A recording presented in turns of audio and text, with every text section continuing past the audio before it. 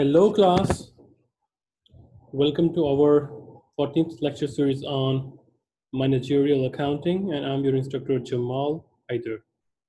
So in our previous lecture, we were talking about the profit planning and we talked about the budgeting stuff and we talked about the creation of the uh, different budgets. So in our master budget plan, so we started from sales budget.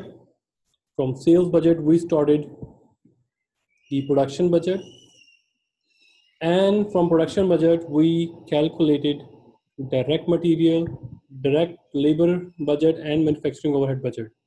And after that, we finished ending inventory budgeting.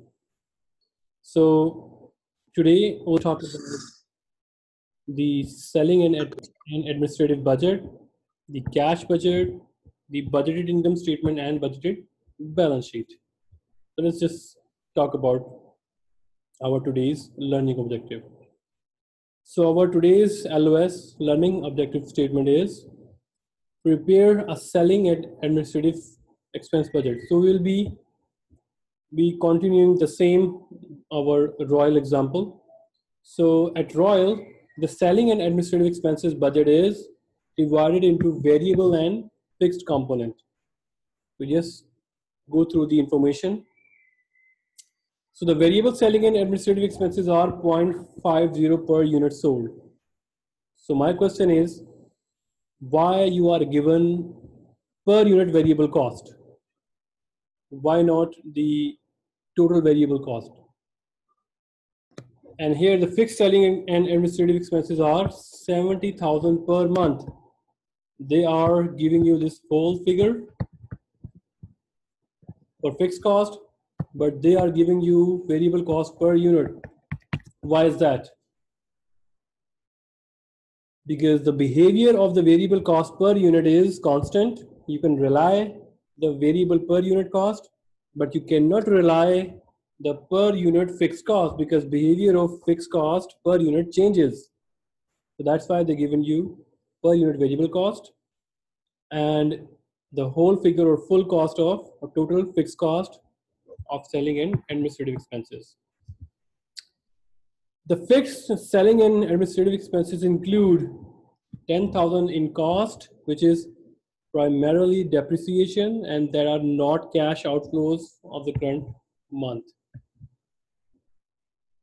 So let's prepare our selling and administrative budget. So we know that our budgeted sales are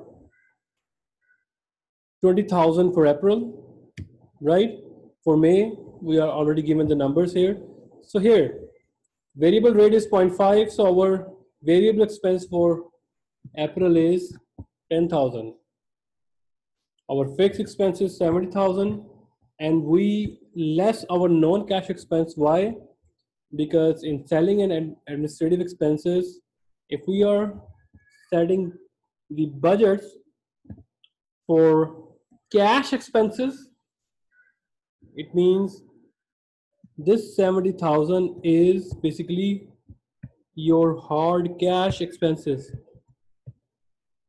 which actually go out from your pocket. And if you don't include, you don't exclude the depreciation effect, it means this is not the cash effect. It includes some non-cash expenses. So that's why this is total selling and administrative expenses 80,000. And if you want, if you want to add the cash selling and administrative expense, please, whenever you write the word cash, please do exclude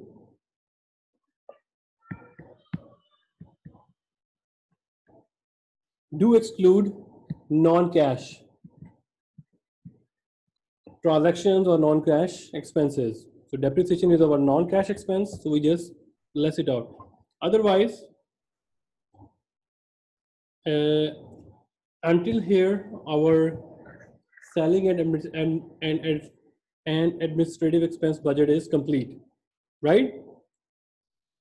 So calculate the selling and, and administrative expenses, expenses, cash expenses for the quarter. It means we would be deleting the 10,000 from May and June because we don't want its effect to be included in our final uh, selling and administrative expenses budgeting. So what are the total disbursements? So you just find out to 30,000 how? Because May budgeted sales are 50,000 and the payment of variable selling and administrative expenses are 0.5 which is 25,000 fixed expenses are 70,000 excluding the effect of non-cash so we have 85,000 so total quarter 70,000 plus 85,000 plus 75,000 is 230,000 right? Now preparing a cash budget. So those who already uh, studied the accounting from me, so they know that how we create the cash budget. So I'm not spending too much time on the explanation of cash budget. So but just remember that cash budget is is in the cash budget we talked about the uh, forecasted cash inflows, which means cash collections, and we exclude from cash collection the expected cash payments. And then we find out that if we had some kind of deficit, so where we need to fulfill that deficit. If not, if we have surplus, then we have opportunity to invest that extra cash for some markup. So this is all, you know, the uh, usage of the cash budget in order to know that in which particular month or quarter, whether we are having the cash dis disturbance or not, or liquidity disbursements or not. So the cash budget is divided into four sections. Number one is cash receipts. Number two, cash disbursement. Number three, excess cash. And then financing section detail, whether we need to borrow or whether we need to repay our projected uh, you know, payments or borrowings. So let's talk about this. So we have the following data regarding the same company Royal.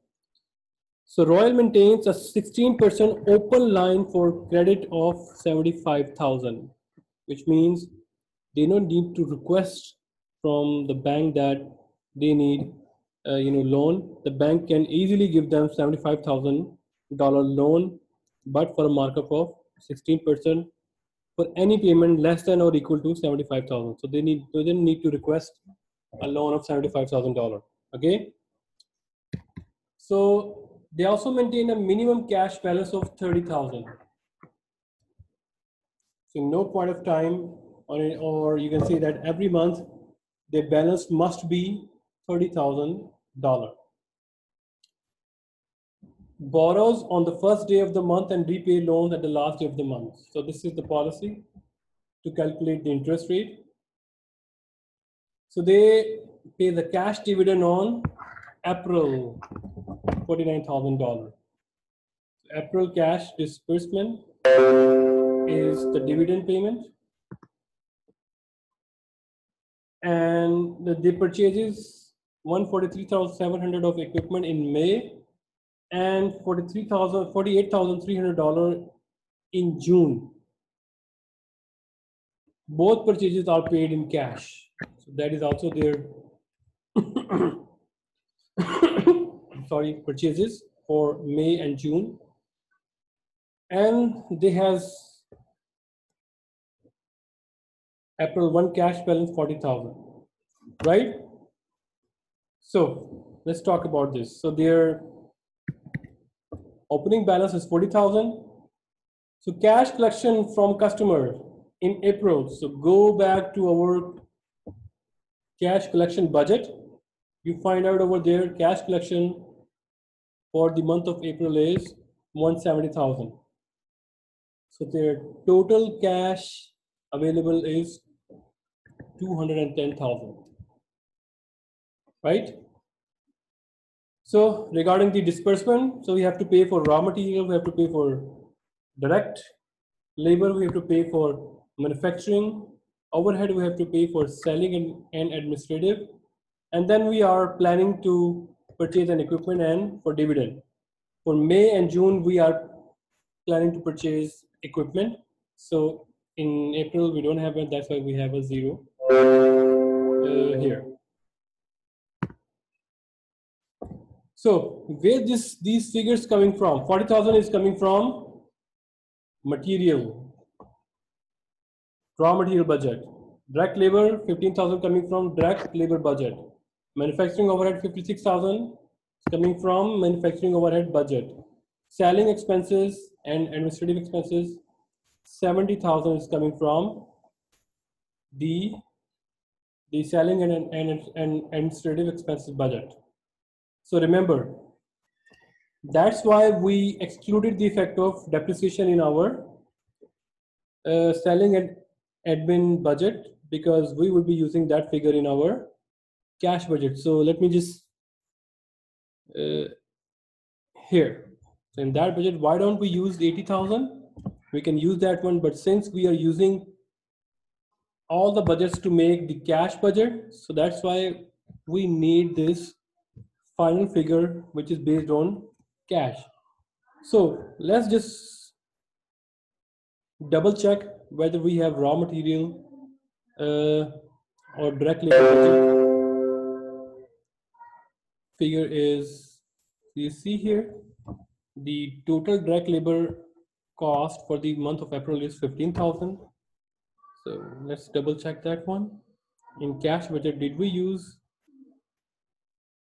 the same amount yes we use the same amount right so all of you guys, where these figures are coming from, these figures are coming from your budgets and also some other planned purchasing or planned payments, right? So your total disbursements, disbursement would be 230,000, right? And your deficiency is 20,000. And remember, in no time you need to maintain 30,000 balance. So you are negative 20,000. So how much you need to borrow?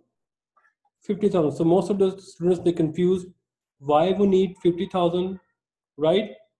Instead, we can have 20,000 loan to fill our deficiency. But remember, we need to maintain, the question explicitly mentioned that we need to maintain here. $30,000 every month. So that's why we need to borrow 50,000, right? So the four sections are section one, cash collection. Second two, second is the cash disbursement. Third one is your efficiency uh, of like, sorry, deficiency or excess. And then fourth section is your borrowings whatsoever. So do we need to pay interest? No, because we borrowed, we will borrow on 1st of April, uh, on 1st of uh, May, and we will pay on 30th of May. So the ending balance should be 30,000 at the end of the month. Would we would be having a short of 20,000, and at the end of April we request, not we request, but since we have an open line of credit, automatically 50,000 will be credited to our account here. So let's talk about the May balance. So May, so where this 30,000 came from? Because the ending balance of April would be the opening balance for